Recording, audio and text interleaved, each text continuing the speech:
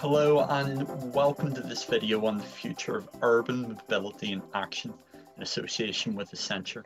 I'm Graham Neal, I'm editor of Smart Cities World.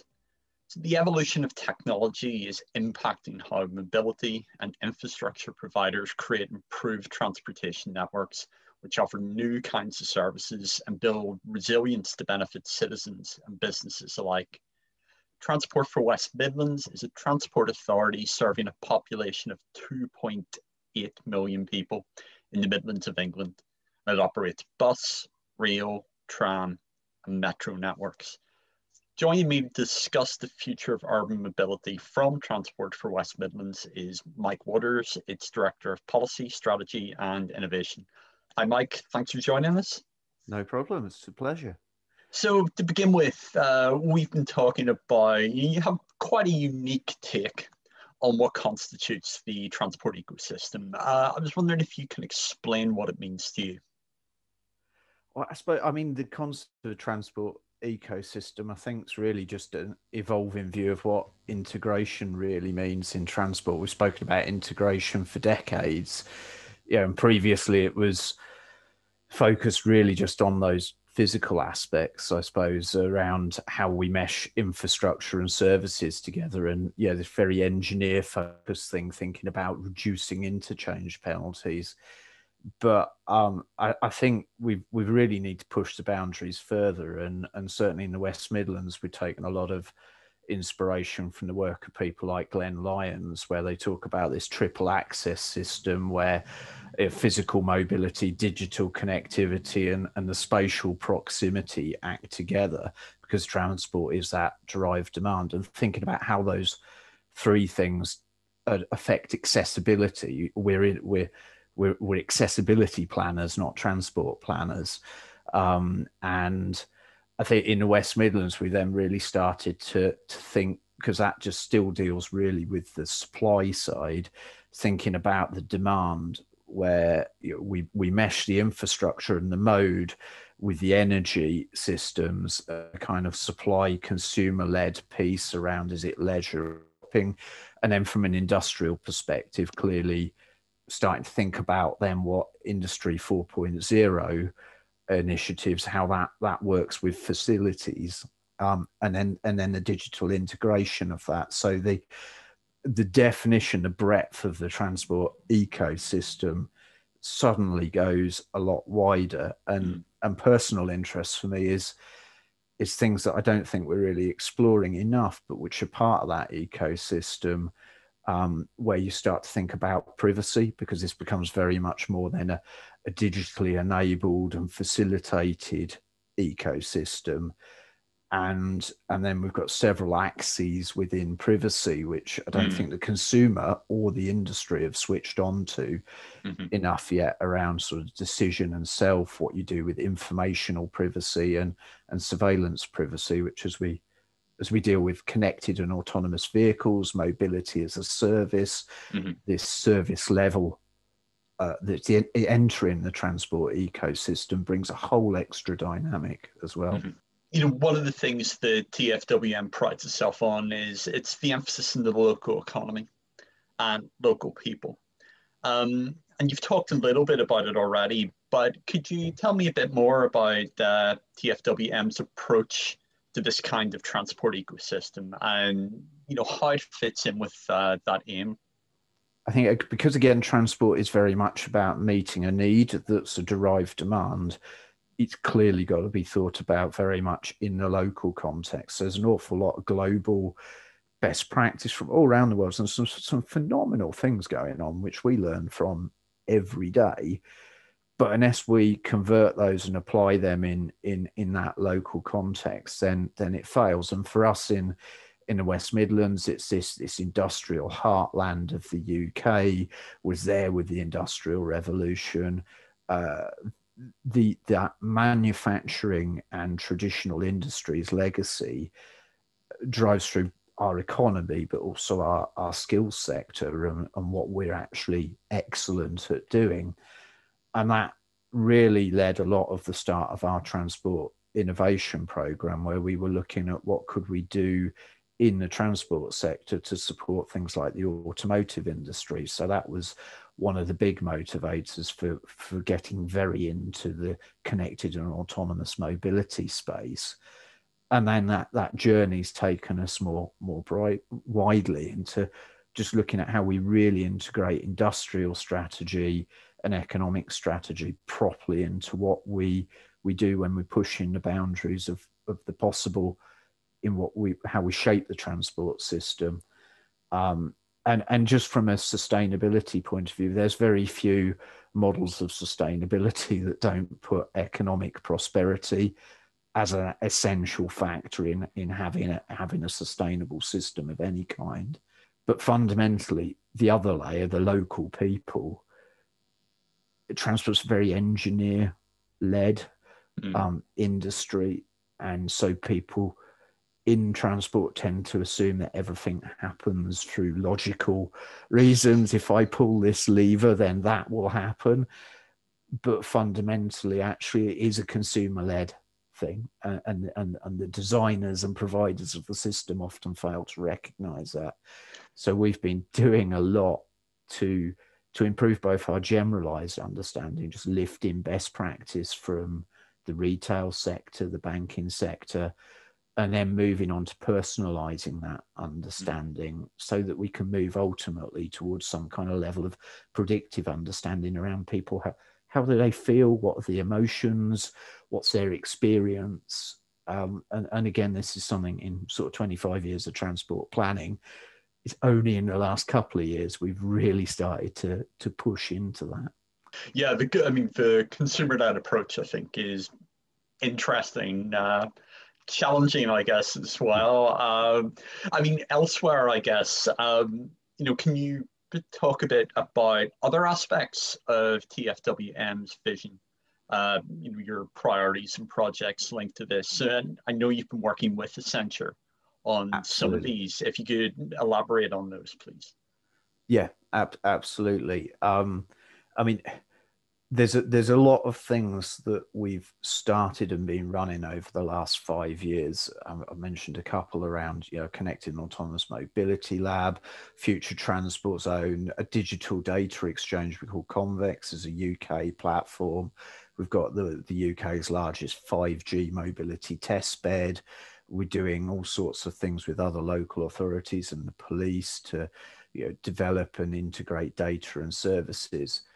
Um, so there's a lot of activity. But what Accenture really helped us do when we we took a step back with them, uh, looking across a kind of global benchmarking exercise to really recognise across the world there's some amazing good practice and some people that in some cases we're going to be a follower of and in other cases we might actually be able to provide some leadership on and so with accenture we really talked about how the West Midlands can start to become a global hub for clean mobility.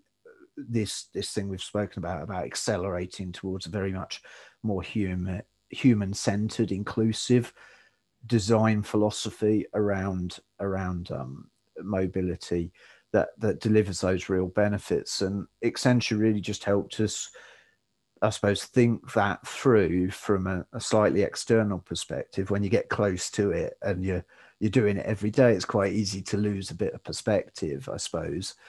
And so, just stepping back, providing a bit more of a structured framework for that, looking at what our pathways can be based on a kind of international benchmarking exercise as we evolve as a, as a, as an area and as a transport system. Um, so really good, and then just sort of really drilling into what the what the critical enablers, what are the critical success factors within how we actually do that, so that that um, well, there's almost been an organically grown, still cutting edge. We're still one of the strongest areas, I think, in the UK in this, but but really then ra- post rationalizing some of the good moves we've made, but helping us set a, a much clearer, more coherent path forward from this point. Mm. And you mentioned the future transport zone. Uh, it's a fascinating area, really. Um, could you give an outline of the, the work you've done on this for people who maybe aren't that familiar with it? And you know, there are a lot of learnings I think that other cities can take from it. Um, if you could spell out some of those, that would that would be great. Absolutely. Um, it's probably worth setting a, a, brief context. The the UK government's set up a, a program of these future transport zones, uh, five in total. The West Midlands sort of helped uh, kind of develop the the concept with the DFT and became the UK's Pathfinder program for these. So we started probably a couple of years in advance of some of the other areas in the UK. Um, and I suppose for us, the the kind of the vision around that is is really the zone exists to help us kind of empower and enable people to make more sustainable travel decisions. And and this is because I think as as anybody involved in transport recognizes, if we're trying to tackle uh, sustainability, decarbonisation, all of these things, fundamentally, the way we travel today um, is not sustainable, and we've got to really focus on how we can how we can make those connections. So we've we've had a very practically driven program. We've we've drilled right down into this understanding of people, where we've been working with the companies like Experian to, to develop a much better view, developing detailed personas and evidence around what people think and feel, how they travel. We've strengthened our smart payments platform considerably. So we're, we're the largest platform in the UK outside of London, very much leveling up to the to the London level of system, which in the UK is much more challenging outside of London because we operate something a deregulated transport market where bus operators are commercial and not commissioned by the cities. Um, so that's quite complex. We've been doing a whole load of experience led initiatives, mobility credits, um, demand responsive transport to really engage with the traveller and understand what initiatives work and don't work because it's uh, transport needs to be designed in the local context. So we we can take best practice, try it, apply it. E-scooters, um, yes, we've been sort of on, in the vanguard of the UK, experiencing what e-scooters can do for the transport system, and then we've put a lot of effort into digitizing the transport system as well. So as as as we take best practice from other sectors, a frightening amount of transport is is run in a context where people think that PDFing something is digitizing it, but actually taking it and making it properly machine readable, optimizing the processes is one of those foundation stones for us then being able to move to apply mm. predictive understanding, both to support the operational and tactical side of running a transport system and operating it, but also to help us plan those big interventions in a much more targeted and intelligent way. Um, and so it's it's quite a complex program, 22 million pounds over four years, um, getting industry match into that, doing things like developing a new layer of 5G enabled sensors so we can see and understand what is happening on the transport system with a lot more confidence, driving that into then the service information. Um, it's it's fascinating. We're, mm. we're absolutely loving it. Um, um, so uh, we're filming this in early uh, 2021. So the the effects of COVID 19 are you know, sadly still being felt by us all. Um, and you know, the, the pandemic's had really dramatic consequences in both the mobility and transport space. How is TFWM dealing dealing with these consequences? I, I yeah, it, it's an epic challenge, isn't it, for for anybody? Um, and as a transport authority, we're we're some of that integrating glue in the heart of all of those actors in the transport system that are having to grapple with this. And I think, as I mentioned, in the West Midlands, as with most of the the, the areas in in the UK, a lot of the actors in the transport system are are commercial. Um, and so they're facing a whole set of, of new realities around what that looks like. So a lot of the practical side of what we've been doing is acting as that that integration between national policy and, and the support that national government has been providing to transport operators and working with the transport operators to really make sure that fundamentally essential services that there is a minimum level of, of service operation going on so that those who don't have access to a car can still get around safely and cleanly.